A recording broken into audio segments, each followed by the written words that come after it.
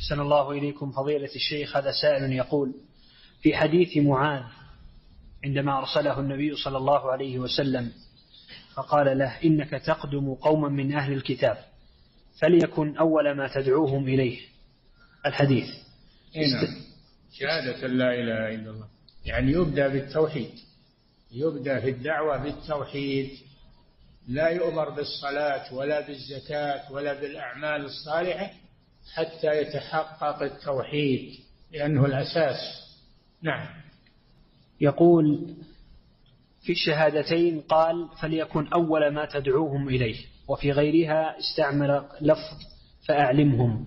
هل هناك فرق بين التعليم والدعوة؟ الإعلام هو الإعلام دعوة. الإعلام دعوة لا فرق. نعم.